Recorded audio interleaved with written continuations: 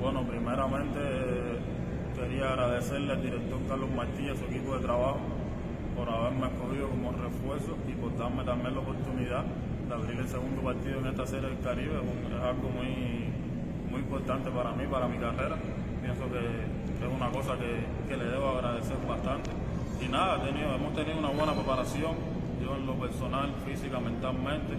Mañana vamos a salir con mucha combatividad, mucha unidad, mucha alegría, disfrutar el juego de pelota y pienso que, que el resultado debe salir. ¿Cuál tú crees que sean las claves para poder avanzar en el partido? Bueno, primeramente trabajar por encima de los bateadores, eh, tener mucha confianza en cada uno de los lanzamientos, mucha agresividad y caminar el partido de pelota. Viviste hoy la victoria de Cuba ante Curazao eh, desde el dogout.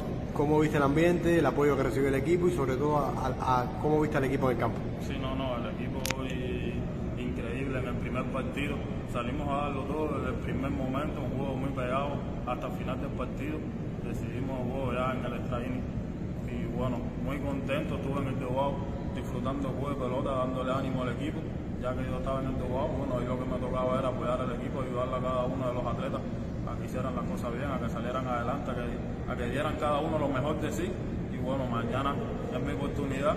Pienso que, que todos nos vamos a apoyar vamos a salir a, a luchar un segundo partido. Bueno, pues te deseamos éxito, ¿sí? Muchas gracias.